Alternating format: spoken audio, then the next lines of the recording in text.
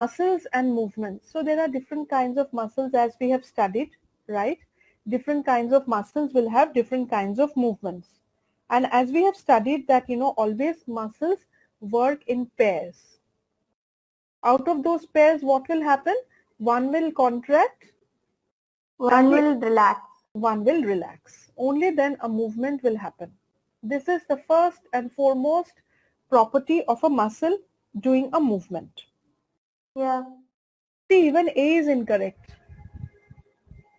Even A is incorrect Yeah, because yeah. rib cage consists not only of the chest bones, it also uh, of the back bones. Cage, you know, it has got a pair of, you know, bones behind also. Hmm. So even C is incorrect. I What think B and D is correct, right? Yeah. Correct. B and D is correct. A and C are incorrect. Yes. A and C. Vamika. Now, next question. Uh, Anjali, will you be able to answer this question? Anjali? Riddhima, just write this uh, answer in the chat box. Riddhima. Which type of a joint is present in the bones of head region and upper jaw? Ma'am, instead asking the question, can you please tell me what is a fixed joint? Fixed joint is something that's found in the skull. There are joints, oh, but it's it not doesn't move. moving. It's not moving. For example, the skull, there's a lot of joints, but it does not move. Yeah.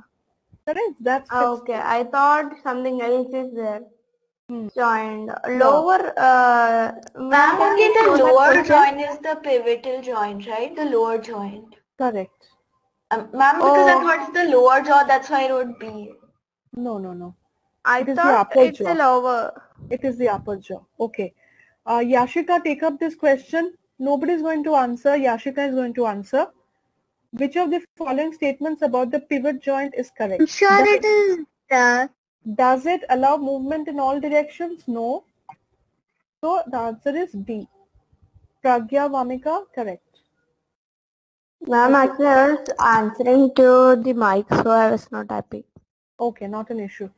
The act of moving from one place to the other is called Riddhima, uh, Pragya. Answer is all right.